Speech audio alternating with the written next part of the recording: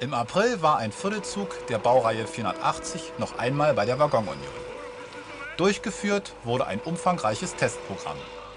Dazu wurden bei der Waggonunion die Wagenkästen von den Drehgestellen gehoben und von der Fachgemeinschaft Eisenbahnwesen mit speziellen Messdatenaufnehmern ausgerüstet.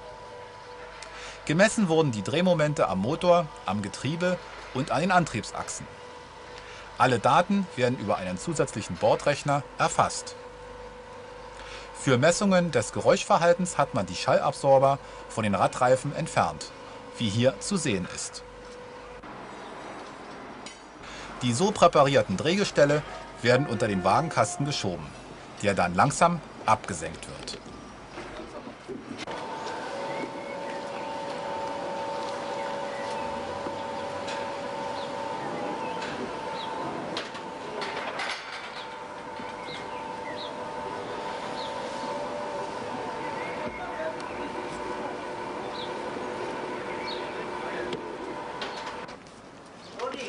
Bei mir ist gut.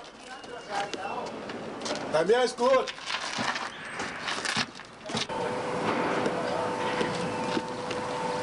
Halt, halt, halt.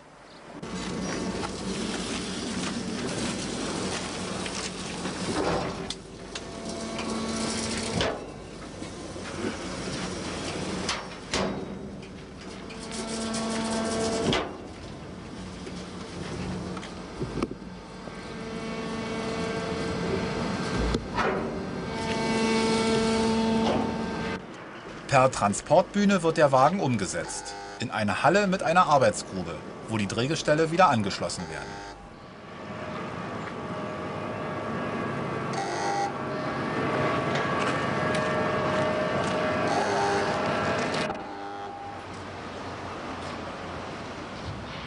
Wieder zu einem Viertelzug verbunden, sollen nun die wichtigsten Funktionen überprüft werden. Dazu wird der Viertelzug auf das Testgleis der Waggonunion geschleppt, das eigens für die general überholten Altbaufahrzeuge mit einer Stromschiene versehen wurde.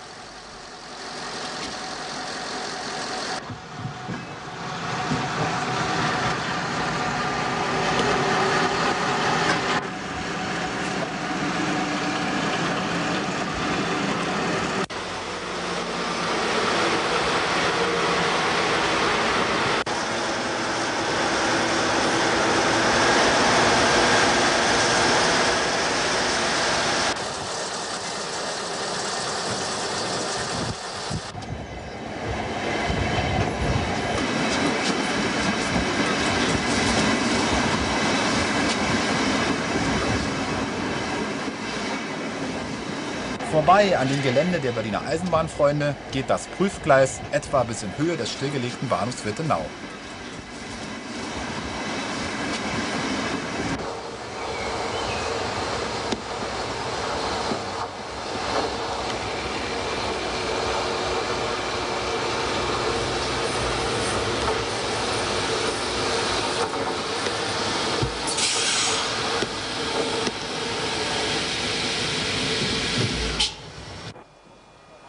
Schnell gelöscht wurde ein kleiner Böschungsbrand, der durch Funkenflug der lange nicht mehr benutzten Stromschiene verursacht wurde.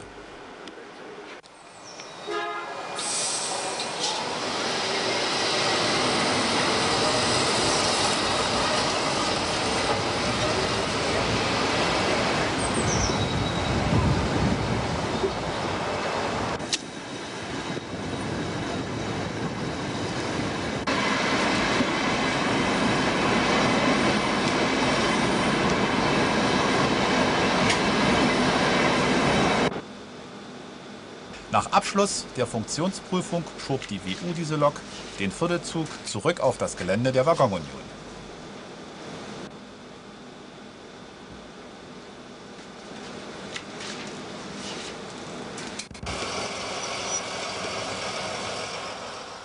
Die Deutsche Reichsbahn schleppte den Viertelzug nach Bahnhof Schönholz, wo bereits ein Altbauzug der Baureihe 275 auf den Gleisen nach Heiligensee wartete.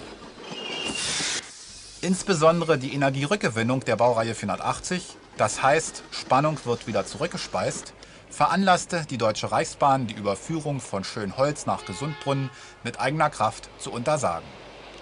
Die Reichsbahn befürchtete eine Störung der Stromversorgung im Bereich Bornholmer Straße. Denn dort wird die S2 und die Strecke nach Bernau aus einem Unterwerk versorgt. So wurde die Baureihe 480 von einem Altbauzug geschoben.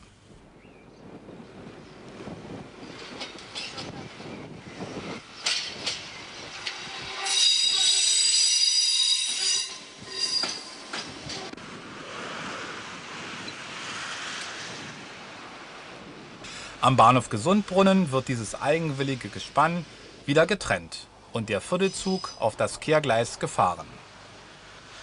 Kurz nachdem der schon wartende Zug nach Lichtenrade abgefertigt war, ging es weiter mit eigener Kraft, um den Nord-Süd-Tunnel das zweite Mal zu passieren